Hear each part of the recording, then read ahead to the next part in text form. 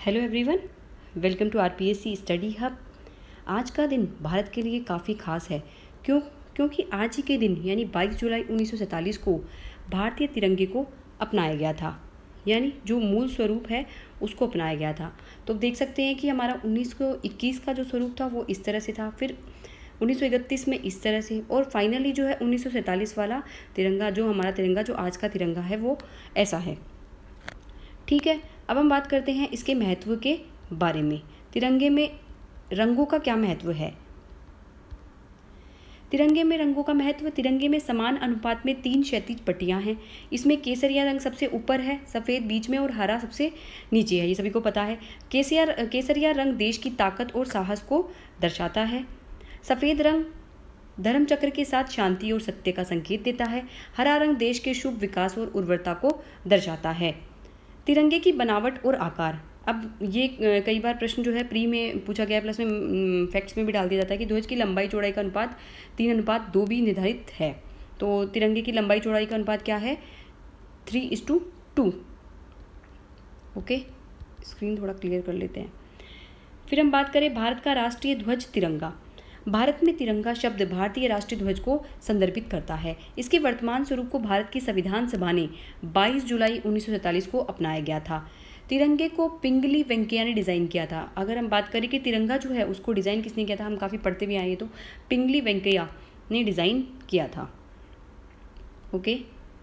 Next चलते हैं तिरंगे का इतिहास। अब तिरंगे का इतिहास की बात करें तो सबसे पहली बार जो तिरंगा है, वो इकतीस मई 1921 को कांग्रेस ने पहली बार तीन रंग के झंडों को मान्यता दी थी। इसमें हरा, सफ़ेद और लाल रंग थे।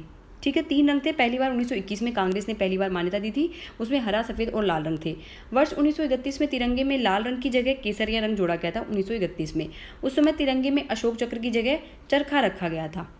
ठीक है, फिर वर्ष 1931 में बने झंडे को ही एक बदलाव के साथ 22 जुलाई उन्नीस सौ सैंतालीस में संविधान सभा ने राष्ट्रीय ध्वज को अंगीकार किया था।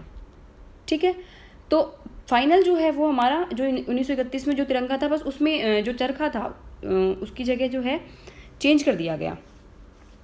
अशोक चक्र लाया गया मतलब। पहले चरखा था, फिर अशोक चक्र। इस ध्वज में चरखे की जगह मौर्य सम्राट अशोक के धर्म चक्र को गहरे नीले रंग में दिखाया गया है। चौबीस तीलियों वाले चक्र को विधि का चक्र भी कहते हैं। यानी इस ध्वज में जो चरखा है वो सम्राट अशोक जो है उसके धर्मचक्र से लिया गया है और उसको नीले रंग में दिखाया गया है चौबीस तीलियाँ जो है वो उनको विधि का चक्र भी बोलते हैं। इस तरह से ये रहा देखो आप देख सकते हैं डायग्राम में, इस तरह से जो है ये शो हुआ चौबीस तीलियाँ इसके अंदर पूरा प्रॉपर मेज़रमेंट के साथ इनको शो किया गया है।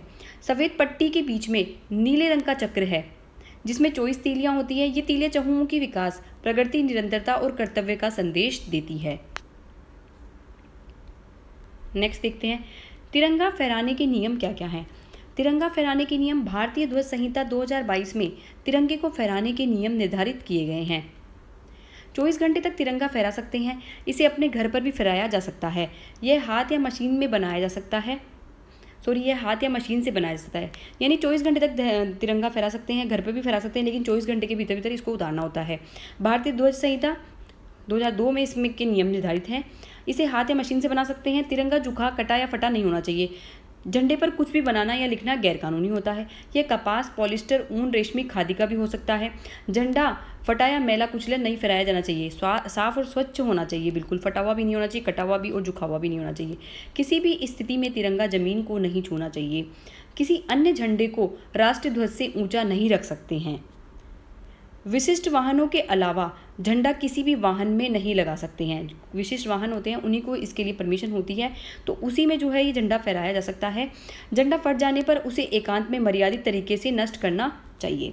अगर झंडा किसी कारणवश या किसी भी तरह से फट जाता है तो उसे मर्यादित तरीके से नष्ट करना चाहिए। ऐसे नहीं कि हर कई पैरों में उसको फेंक दिया गया है। तो ये नियम जो है कुछ निर्धारित किए गए हैं तो मेंस के परस्पेक्टिव से ये इंपॉर्टेंट है। या कोई भी एग्ज़ाम हो स्टेट पीसीएस हो, सभी के लिए भारतीय दंड संहिता दो हज़ार दो में तिरंगे फहराने के नियम दिए गए हैं, वो इंपॉर्टेंट है। प्री में भी फैक्ट्स डाल देते हैं, कई बार मेंस में भी पूछ लेते हैं तो प्रश्न तो इंपॉर्टेंट है ही। तो आप इसको अच्छे से तैयार कर लिए, लीजिएगा। So thank you for watching this video